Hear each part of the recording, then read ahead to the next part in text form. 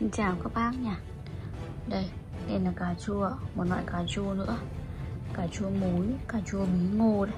Đó, Quả này quả to các bác nha. Một gói này sẽ được 100 hạt ạ. Đây Hàng nguyên bao bì của Đài Loan.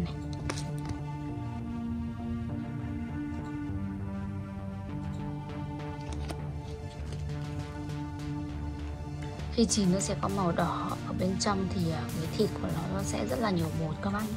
tức là nó sẽ là đặc đặc đặc đặc bột đấy. Cho người những loại cả quả cà chua này ăn thì rất là ngon rất là thích luôn. Cái loại này thì các bác nhớ là làm cái à, cái, cái, cái cây chống đỡ cho nó. Không có là quả nó mà sai thì nó sẽ bị gãy cành gãy cây ấy. Trồng lên rất là thích luôn. Các bạn quả to nha. Có múi khía